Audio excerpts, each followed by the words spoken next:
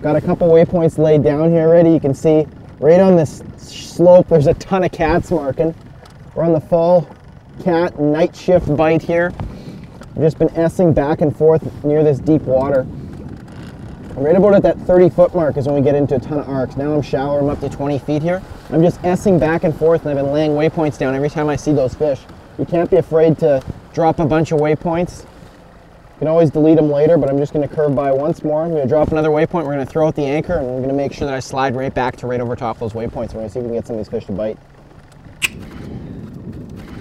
Got a bit of a crosswind tonight, so I'm just throwing out a windsock to kind of straighten us out with the current, that way we're not blowing around a lot. It'll just keep our lines more steady.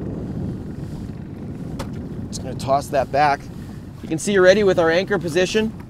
Here's our current position. There's a couple of those waypoints we dropped out. If I move the cursor back to that first waypoint, it's five meters behind the boat, which is 15 feet. It's a short cast. Those waypoints are right behind us, exactly where we want them to be. You can see on the other sonar here, there's a bunch of fish on the bottom, so we're gonna be right over top of cats here right away, I'm pretty sure. A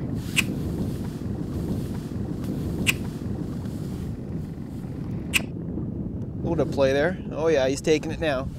Oh! Usually once they get on the, the trail of it and they touch it a couple times, they're gonna come back and hit it eventually.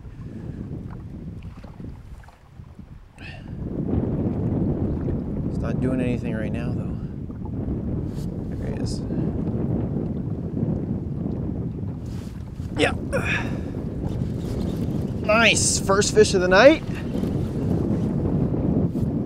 Feels okay.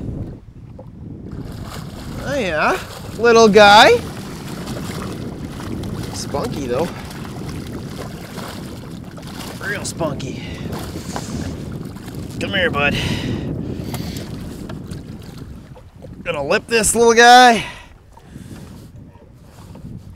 Not bad for the first fish. Didn't take long at all. Just gonna pop that barbless hook out of the corner of his mouth there. Give you a closer look at that fall channel cat out here on the Red River. We got the whole river to ourselves, and we're to uh, sort through a couple of these until we get a big one. Nice. This is definitely a bigger fish.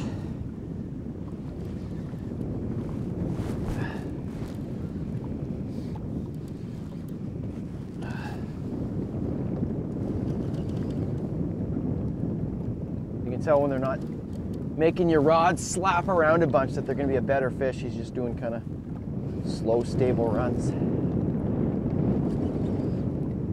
Here he comes. He's going to make some splashy now.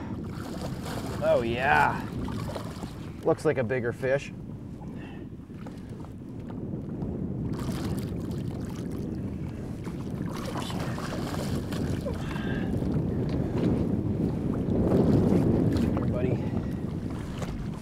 I got the camera lights on this fish, but you can also see on the side of the boat, I've got LEDs mounted all the way around on the outside and on the inside, and it really just lights up the boat for night fishing. I'm gonna sling this fish in here. This looks like a nice big fish. Oh yeah. Can See that barbless hook?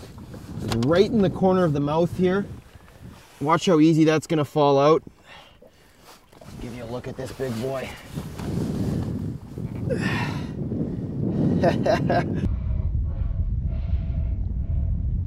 It's a nice big cat.